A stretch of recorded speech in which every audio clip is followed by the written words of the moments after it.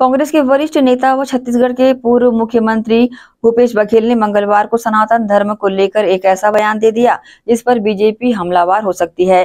पूर्व मुख्यमंत्री भूपेश बघेल ने सनातन धर्म को लेकर कहा कि एक लोटा जल चढ़ा दो और जीवन में कुछ काम मत करो, बच्चों को मत पढ़ाओ, खेत में काम मत करो, बस एक लोटा जल चढ़ा दो तो सब कुछ ठीक हो जाएगा। इस तरह की धारणा लोगों में बनी हुई है। उन्होंने आगे ये कहा, इसे हम आस्था नहीं कह सकते यह आस्था नहीं, बल्कि भाजपा द्वारा फैलाया गया अंधविश्वास है। बता दें कि भूपेश बघेल ने ये बयान बालोद ज़िले के गुरूर ब्लॉक के ग्राम जीवर तला में एक कार्यक्रम को संबोधित करने के दौरान दिया।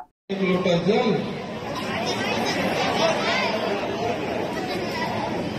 अब लड़का मन पढ़बे नहीं करी अब पानी तो गई पास हो जाए।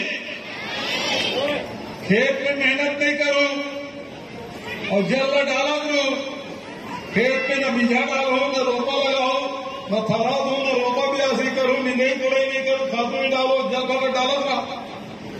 हो जाए भगत अरे भगवान कृष्ण तक गाय चला है। वो भगवान का का ज़रूरत है लेकिन बताइए गौ माता सेवा करना है, तब तो दूध मिले। भगवान राम जंगल जंगल भटके हैं। काबर